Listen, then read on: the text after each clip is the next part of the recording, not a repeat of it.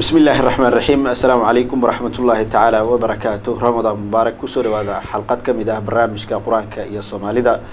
Barnaamijka waxaa maanta marti igu ah ustaad xasan abshir cusmaan oo ka mid ah barayaasha dugsiyada qur'aanka ku dhiga magaalada muqdisho ee caasimada soomaaliya sidoo kalena ah khatiibka masjidka anas bin malik marka hore ustaad waan kaaga mahad celinaynaa in aad nagala qayb gasho barnaamijkan sharaf ayay noo tahay in aad mawduuca barnaamijkan aada nagala qayb gashay ee qur'aanka iyo soomaalida ku soo dhawow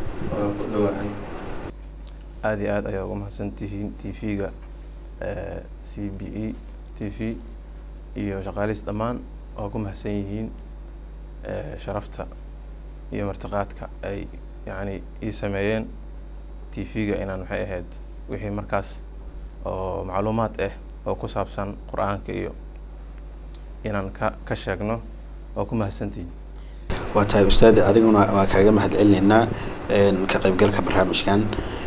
Marka ugu horeysa waxaa laga yaabaa dad badan in ay ku bargaranayaan oo keliya in lesbarta aaday u wanaagsan tahay. Bal ustaad xasan taariikhdiisoo kooban? Taariikhdii kooban horta waxaa ku dhashay gobolka gedo khaasatan magaalada baardheere. Sanadka markuu ahaa kun sagaal boqol sagaashan iyo shantii marka magaaladaas ayaan ku soo barbaaray waxbarashadeyga waxbarashadeeda asaasiga dugsi qur'aanka iyo kutubada fiqiga iyo axaadiista meeshaan ka soo ka soo qaatay. Marka labada kun toban iyo afartii bishii labaad ayaan magaalada muqdisho soo aaday xoogaaba yar dhowr bilood ka bacdina waxaan u wareegay magaalada baydhabo ayadana laba sano ku dhawaad ayaan soo joogay. Cilmiga ayaan ka baranayay.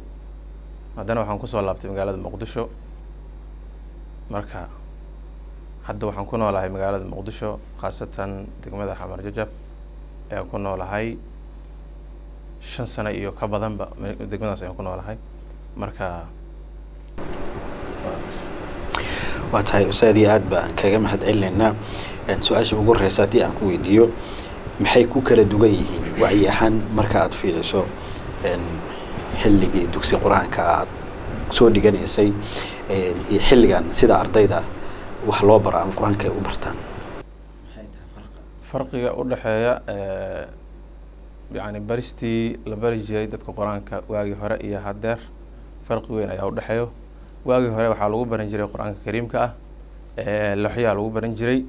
Inkastoo haddaba iska jiraan dugsiyaa dugsiyaasha qaar oo loox lagu dhigto laakiin hadda waxaa batay dugsiyaasha buugleyda ah iyo kutubleyda ah batay. Laakiin waagii hore waxaa lagu baran jiray annaga hataa aan ku soo baranay qur'aanka kariimka ah yacni loox ayaan ku soo baranay.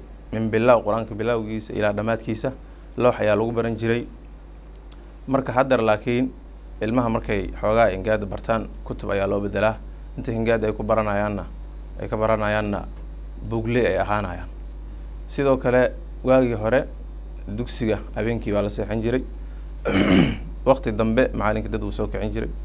Ilmaha ayaga isku hurdaayaan macalinkutuu soo dhexgalo ulug ku bilaabi jiray. Markaas dhammaantood ay soo kacayaan oo sidii marka ay ahaan jirta laakiin hadda waxaas dhan ma jiraan maalin ayaa dugsiga la dhigtaa. Habeen dugsi lama lama imaado. Marka maalinkii ayaa dugsiga la dhigtaa. Buugna waa lagu dhigtaa. Markay ilmaha bartaanna ingaada iyo fartana waxaa loo wareejiyaa. Kutubleyaa loo wareejiyaa marka. Laakiin waagaas waxay ahayd min bilow ilaa dhammaad looxaa lagu dhigan jiray. Haddana waa iska jiri kartaa dugsiyaasha qaar oo maxay ahayd oo loxley ah iska jirtaa. Laakiin farqigaasaa udhexeeya waaqacaas maxaa keena is leedahay isbedelkaas inuu saas u ballaaran u waxaa keena is leeyahay horta waxaan is leeyahay inay keentay waagaas dhul ballaaran ayuu dugsiga haysan jiray. Laakiin hadda dugsiga dhul ballaaran ma haysto meel yar oo kooban ayuu marka uu ku dhigaa macalinka dugsiga. Haddii meeshii marka la yidhaahdo looxyo iyo waxyaabo kale ha lagu soo kordhiyo meesha ciriiray noqonaysaa zaxmad iyo jaam ay noqonaysaa marka suurtagal ma ahan saasaan is leeyahay ra'yigeyga waa tahay. Ma ku muuqataa ustaadii in ay jirto mas'uuliyad darro oo dayaca uu ka jiro dhanka qur'aanka ama buugaagta ardayda loogu qoro? Marka aad fiiriso. Sax waay aada iyo aad ay u jirtaa mas'uuliyad oo maxay ahayd ku saabsan in dayac weyn oo ka yani dayac weyn aad aada iyo aada u weyn runtii inuu ka muuqdo. Buugaagta ilmaha inay jaajeexaan oo waddooyinka yani ay ku tuuraan isaga tagaan banaanada sidoo kale kutubadii inay jaajeexaan aada iyo aad ayaa loo arkay arrintaas ayada ah. Marka in lafteyda dhowr dugsi ayaa waxaan ku arkay bugaag jaajeexaan oo ku qoran qur'aanka kariimka ah. In badan ayaan arkay. Marka macalimiinta dhan saas ma wada aha laakiin macalimiin waxaa jira oo dadaalo oo ilmaha bugaagta markay ugu qoraan casharada oo kale dugsiga ay leeyihiin maxay ahayd meel gaar intay u sameeyaan. Meeshaan ayaa la dhigayaa meeshaan lagama qaadayo bugaagta intay oolayaan hadhowna ilmihii markuu soo laabto bugaag bugaagtiis meeshuu ka qaadanayo. Macalimiinta qaarna way siiyaan ilmaha markay baxaan marka saasay ku jajeexaan laakiin badanaa waxaa waaye aad ay aad ay u badan tahay arrintaas ayada ah in maxay ahayd dayac fara badan ka muuqdo oo kutubadii ay jajeexan yihiin bugaagtii ay jajeexan yihiin ilmiha ay jajeexayaan macalimiinta qaarna ay xil iska saaraynin oo aad ku arkaysid waddooyinka iyo meelaha looqlooqyada ah. Marka dayac weyn ayaa ka muuqda. Mas'uuliyaddaas waxaa ugu weyn oo qaadi karo oo lagula xisaabtama lagula xisaabtamaayo macalimiinta waayo dabcan ayaga dugsigii u bedelay waagii hore looxu ahaan jiray. Hadda ayagaa u bedelay bugaag marka bugaagta hadday u bedeleenna waxaa laga rabay inay maxay ahayd ilaaliyaan nidaam u sameeyaan ilmihii maxay ahayd kala xisaabtamaan haddii ay maxay ahayd suurtagal tahay sida macalimiinta qaar ay sameeyaan bugaagtii meesha dugsiga ku hayaan wixii jeexmana markaas meel gaar ay u sameeyaan way fiicnaan lahayd. Laakiin mas'uuliyaddaas macalimiinta qaar way haleeyeen oo maxay ahayd kamayna soo bixin. Ayagaana marka lagula xisaabtama mas'uuliyaddaas ayada waa tahay. Ustaadii qur'aanka soddon jus ayuu ka kooban yahay marka loo eego jus ahaan. Ardayda qaarkood waxay dhibaato ku qabaan xifdinta sidee qur'aanka soddonkaas jus loo xifdin karaa? Soddonka jus horta sidii waagii hore lagu xifdin jiray waxay ahaan jirtay ilmaha dugsiga marka la keeno oo loo bilaabo qur'aanka. Hingaad markuu barto farta barto waxaa waaye looxuu ku dhamaysan jiray. Marka waxaa jiri jiray subac ayaa jiri jiray. Sidoo kale waxaa jiri jirtay dareeris ayaa jiri jirtay intixaamaad ayaa jiri jireen. Marka haddaba waa la xifdiyaa alxamdulilah waa la xifdiyaa. Bugaagtaas iyo kutubadaas jajaxa meelaha qaar dugsiyaasha qaar ma ahane. Taasaa xoogaa murug leh. Laakiin waa la xifdiyaa. Waa la xifdiyaa qur'aanka ilmaha waa lagu tartamaa hataa magaalada. Waa aragtay soonka bishan barkeysan oo kale. Intixaamaad iyo musaabaqooyin ayaa la qabtaa. Waa lagu tartamaa. Arda fara badan oo jirto oo maxay ahayd madaarista ka timaado oo musaabaqaad ka qayb gasho. Marka waxaa lagu xifdin karaa yacni in maxay ahayd muraajaca la sameeyo ilmaha muraajaca loo sameeyo.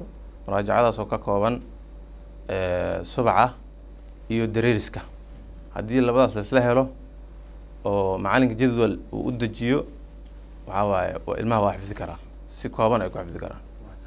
Laakiin waxaa jirto ilmaha markay xoogaa hingaad bartaan waalidiinta iskool ay geystaan mogta haddii ilmaha iskool la geeyo markaas jaanis fara badan looma helayo waqtiga ugu fa ugu fara badnaa iskoolkiyaa qaadanayo marka xifdigiina habeene lama imaado sidii baadiyaha ma ahan.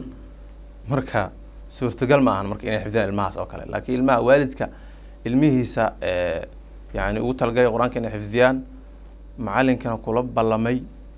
Macalinkaas xil ayuu iska saarayaa jadwal u dejinayaa wayna xifdinaan waqti kooban ayay ku xifdi karaan ma waxaa leedahay xifdis la'aanta ardayda qaarkood waxaa sabab u ah ardaygii oo dugsi qur'aan xilli subaxa u soo baxaya xilligaas ka tagayo iskool haddana sii aadaya oo maskaxdii laba shaqo ay wada qabanayso. ha iskoolkii uu aadayaa subaxley ama galabley waaye marka maadooyin dhowr ah ayaa loo la soo siinaa iskoolku ka soo qaadanaa.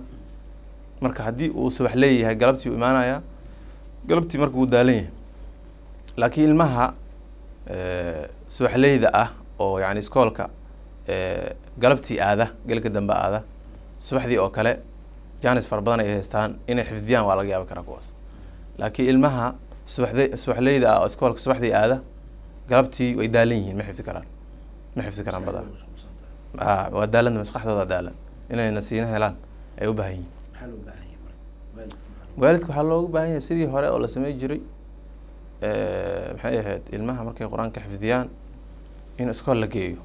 Laakiin ilmihii aan qur'aan xifdinin in iskool la geeyo wax ay soo kordhinaysa ma laha wax ay soo kordhinaysana oo gaara ma jirto. Haddii laakiin in qur'aanka xifdiyaan markaas iskoolkii la geeyo okay waa waa xifdi kara waa tahay ustaadii aada u mahadsan tahay maxay tahay mas'uuliyadda saaran qofka qur'aanka bartay ee dhameeyey haddana aan xifdisanayn qur'aanka markuu qofka uu dhameeyo uu barto oo xifdiyo horta waxaa laga rabaa inuu ku camal falo. Waa loo baahayay lamber ko haddiise haddii uusan xifdisaneenna qur'aankii laakiin u dhameeyey laakiin ma xifdinin waxaa looga baahan yahay inuu xifdiyo. Kabacdina uu ku camal falo qur'aanka. Laakiin qur'aankii haddaad xifdisid laakiin aadan ku camal falin camalfalkii aan lagaa haynin waxay soo kordhinaysa male adoon xifdinin ayaa la arkay ayaa ku ficneed marka qur'aanka inuu xifdiyo kabacdin uu ku camal falo taas ayaa marka la gudboon. Waxaa jira ustaadi dadka qaar qur'aanka yaqaano xifdisan haddana aan ku dhaqmayn. Laga yaabo qofkaas macna ahaan xataa inuu fahamsan yahay tafsiirkiisa. Halisteeda leedahay. Halisteeday leedahay. Ha cuquubo cuquubo cuquubadeeda leedahay. Dembi weyn marka qur'aanka waa hadlayaa ilaahay hadalkiisa waaye. Haddaad xifdisid micnihiisana aada baratid ilaahay hanagu arsuqo inaan ku camal falne marka waxaa loo baahan yahay in maxay ahayd qur'aanka la tadbiiqiyo oo lagu camal falo ayaa loo baahan yahay. Laakiin haddaadan ku camal falin dhibaato weyn ayaa kaa soo gaarayso. Cadaab ayaad mutaysanaysaa qiyaamaha. Laga yaabaaba adduunyada cadaab inaad mutaysatid. Marka qur'aanka inuu nebigu sal alla alay slam suu sheegay xujatun laka aw caleyka inuu kugu noqdo. Haddaad ku camal fashid laka waay nafcigaaga iyo ajligaaga maxay ahayd waxtarkaaga ayuu soo jiidaya qur'aanka. Waa ku liibaanaysa haddaad ku camal fashid. Laakiin haddaadaad ku camal falin caleyka korkaadu noqonaa. Marka dhammaan muslimiinta waxaan u soo jeedinaa qur'aanka sharafkeena weeyaan. Inaan ku camal falno fi dunya alaakhira qur'aankaas ilahay wuxuu noogu soo dejiyey. Waxaa waaye inaan yani ku camal falno nolosheena adduunya iyo aakhira. Int aan u fiirino qur'aankaas aan ka fiirino oo aan ku socno asaga ayaa la rabaa. Marka qur'aanka ayaa nagu filan aan ku camal falno. Marka intaas.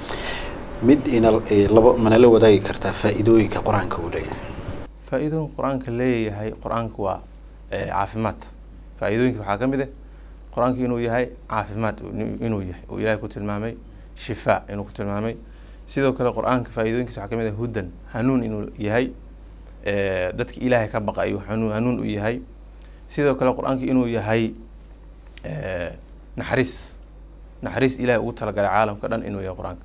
Faa-iidooyinkiisa marka qur'aanka lama soo koobi kara aada iyo aad ayayna marka u fara badan yihiin. Dabeecad dabeecadda xataa dabeecadda wanaagsan qur'aanka ayaa markaa laga dhexelaa nebigu sal allahu alay wasalam nebigu ku tilmaamay ilaahi subxaana watacala nebigiisa moxamed sal allahu alayh wasalam wuxuu ku tilmaamay inuu yahay mid dabeecaddiisa yacni wanaagsan tahay innaka la calaa khuluqin cadiim. Dabeecad aada iyo aada weyn inuu leeyahay. Marka waxaas dhan caaisha markay markii la weydiiyey nebigu sal alayh wasalam dabeecaddiisa waxay tiri dabeecaddiisa waxay ahayd qur'aan ay ahayd. Marka aayaddaas ayadoo dilisanayso marka qur'aanka faa-iidooyinkiisa aada iyo aad ay u fara badan yihiin lama soo koobi karo. Waa tahay ustaadii waxaan ku guda jirnaa bishii barakeysneed ee ramadaan. Shahru ramadaan waa shahru lqur-aan xiriirka ka dhexeeya ramadaan iyo qur'aanka muxuu yahay? Xiriirka ka dhexeeya ramadaanka bishaan barakeysan ee ramadaan oo aynu ku guda jirno maanta dabcan waa maalinka shanaad. Marka faa-iidooyinka maxay ahayd cilaaqada iyo xiriirka qur'aanka iyo ramadaanka kala dhexeeya yani way iska caddahay waxaa ku filan keliya oo lagu soo koobi karaa bishii qur'aanka ilaahay soo dejiyey inay tahay bishaan. Ilahi wuxuu yidhi shahru ramadaan aladii unzila fiihi alqur-aan. Waa bishii ilaahay soo dejiyey qur'aankan kariimka ah. Culimaduna waxay noo sheegeen qur'aanka waxaa la soo dejiyey jumla isagoo dhan duldub ahaan bishaan barakeysan waxaan lagu soo dejiyey guri la yiraahdo beyt ulciza oo samada samaa udunya oo noo dhow eena soo xigto ayaa lagu soo dejiyey guri ku yaalla beyt ulciza lalahayo marka marka sidaas ayaa qur'aanka lagu soo dejiyey hal mar. Kabacdina saddex labaatan sano ayuu soo degaayay hadba markaas wixii markaas oo arrimaha dhacayo ayuu marka qur'aanku soo degi jiray nebiga sal alla alay wasalam ugu soo deji jiray.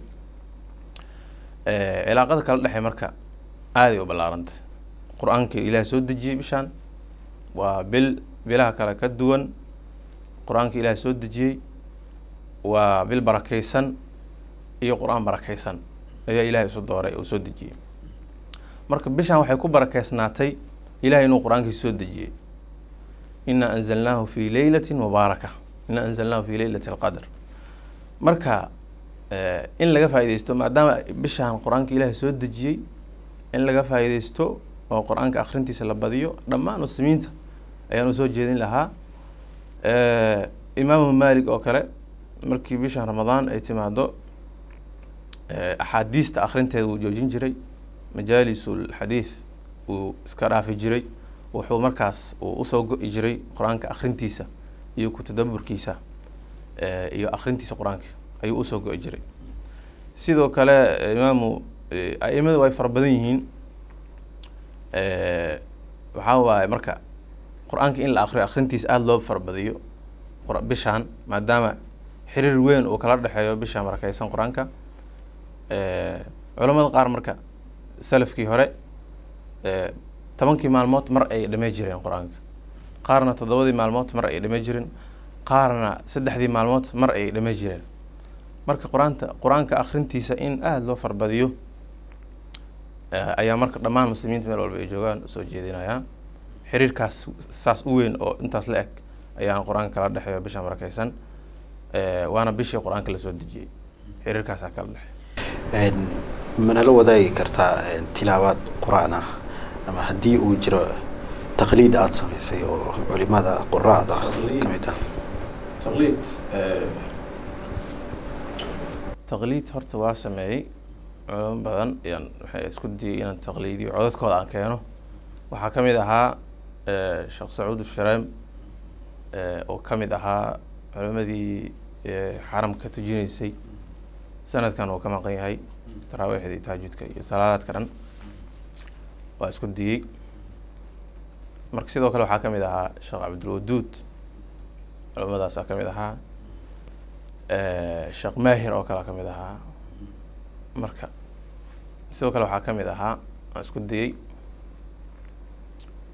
sheekh suudani oo maxay ahayd sheekh nuureyn oo suudaantaas kasoo jeeda oo dhintay marka culimadaas isku didayey أعوذ بالله من الشيطان الرجيم يا أيها الذين آمنوا كتب عليكم الصيام كما كتب على الذين من قبلكم لعلكم تتقون. أياما معدودات. فمن كان منكم مريضا أو على سفر فعدة من أيام أخر. وعلى الذين يطيقونه فدية طعام مسكين. فمن تطوع خيرا فهو خير له. وأن تصوموا خير لكم إن كنتم تعلمون. شهر رمضان الذي أنزل فيه القرآن هدى للناس وبينات من الهدى والفرقان.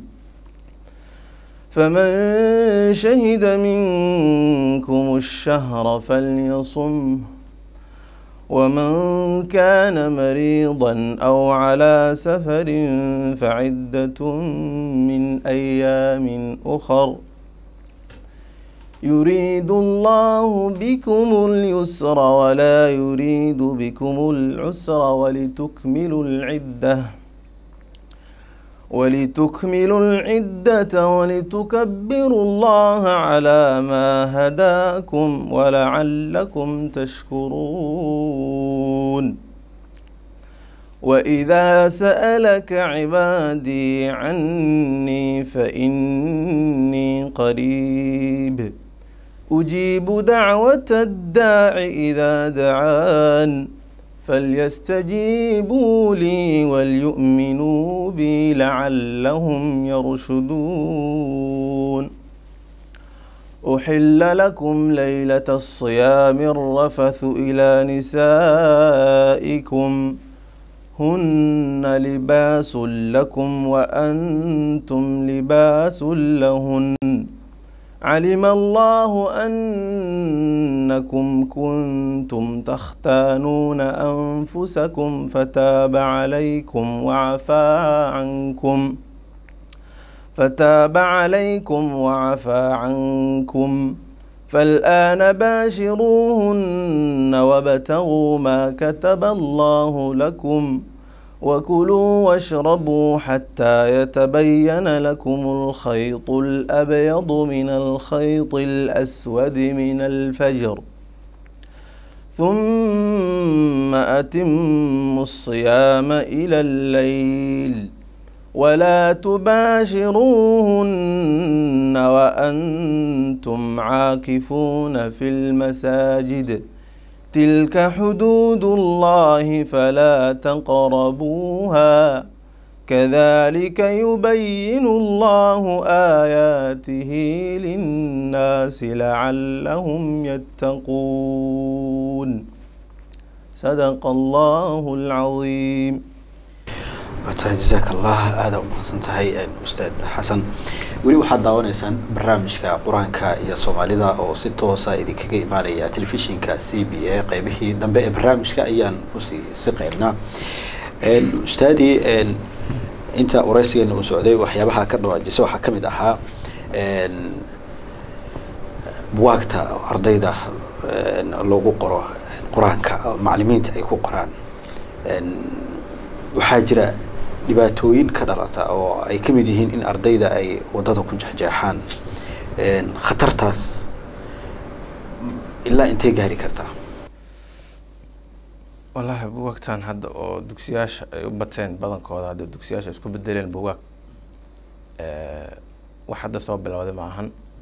Mudday soo jirtay laakiin hadda ilaahay mahaddiisa dugsiyaasha yacni waxaa soo baxay dugsiyaal oo fara badanoo maxay ahayd arrintaas ku dadaalo. Sidoo kale waxaa soo baxday mu'asasooyin oo maxay ahayd buugaagtaas iyo kitaabadaas la jeexjeexay xil iska saartay oo maxay ahayd meel gooni intay sameeyeen. Buugaagtii jeexjeexneed iyo kitaabadii la jeexjeexay intay marka isku keenaan ay soo aruurshaan marka meeshaas ay dib dayactir ugu sameeyaan.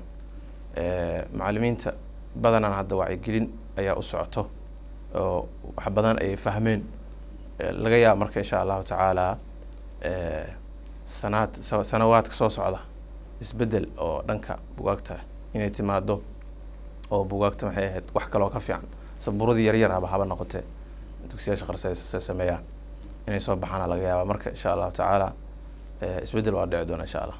Macalimiinta maxay ahayd oo ilmaha bugaagta jaajeexayo oo u dhiibaayo oo ilmihii inay bugaagta jeexeen og oo haddana aan welwel ka welweleynin bugaag ka dhigeen dugsiga haddana ka welweleynin oo wax ka bedel ka sameyneyninna waxa waxaan kula talin lahaa inay isbeddel sameeyaan oo ilmihii ay controlaan oo bugaagtaas wax kale oo dhaama haddii la heli karo inay sameeyaan insha allahu tacala ayaa soo jeedina waa tahay ustaadii fariintaada ugu dambeysa ee aada u direyso baxda macalimiinta waalidiinta iyo guud ahaan ummadda soomaaliyeed oo la yiraahdo waa ummadii qur'aanka. Soomaalida waxaa yidhaahdaa dad oo qur'aanka runtii si fiican u yaqaano. Marka loo eego waddamada kale ee cajabta ah maxay tahay fariintaas? Soomaalida horta ilaahay waa barakeeyey wuxuu ilaahay ka dhigay ummad maxay ahayd qur'aanka aada iyo aad ugu dadaasho oo xifdigiisa. Laakiin waxaa ka maqan ku camalfalkii inay qur'aanka ku camalfalaan ay dastuur ka dhigtaan ayaa ka maqan marka dhammaan soomaalida muslimiinta waxaan u soo jeedinaa qur'aanka ayaa horumarkeena ku jiraa qur'aankaas ayaana wada deeqaayo. Qur'aankaas ayaan adduunya aakhira ku liibaaneynaa qur'aankaas inaan barano xifdino ku camal falno aan u soo jeesano. Si gaara marka soomaalida waxaan leeyahay intaasoo sano ayaan maxay ahayd isku dawareegad iyo dagaal iyo barbaran iyo ku jirnay. Marka kitaabkan haddaan u soo laabano waa liibaaneyna xaqiiqa waa taas kitaabkan haddaan u soo laabano aan ku camal falno dastuur ka dhigano nolosheena adduunye iyo mid aakharaba aan ku salayno waa liibaaneyna laa shaka waa. Si gaara marka macalimiinta waxaan leeyahay ayagana bishaan maxay ahayd? Bishii barakeysneyd waaye bishii qur'aanka waaye qof walboo qur'aan yaqaana inuu qur'aanka akrintiisa uu badiyo oo qur'aanka xifdigiisa uu badiyo ayaan maxay u soo jeedinaya dhammaan. Marka aan ka faa'idaysano bishaan barakeysan yacni ilaahay kheyraadka fara badan uu dhigay habeen waxaa ku jirta bishaan maxay ahayd ka kheyr badan kun bilood.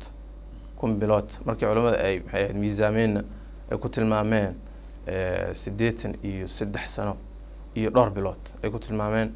Marka habeenkaas aan ka faa'idaysano bishaan ku dhex jiraa insha allahu tacaala aan ka faa'idaysano dardaaranka marka meeshaas ku soo koobaa aada umahadsan tahay ustaad xasan abshir cusmaan guud ahaan daawadeel intaas ayaan ku soo gabagabeynayaa xalqad ka mid ah barnaamijka qur'aanka iyo soomaalida ee aad ka daawanayseen telefishinka c b a. Waxaa barnaamijka igala qayb galay ustaad xasan abshir cusmaan oo ka mid ah barayaasha dugsiyada qur'aanka ku leh magaalada muqdisho ee caasimada soomaaliya. Sidoo kalena ah khadiibka masjidka anas binu malik waan uga mahad celinayaa qaybgalka barnaamijka. Intaan dib ugu kulmi doono barnaamij mid ka la mid ah oo inagu isku duban oo idinkaga tegeynaa nabadgelyo aada umahadsan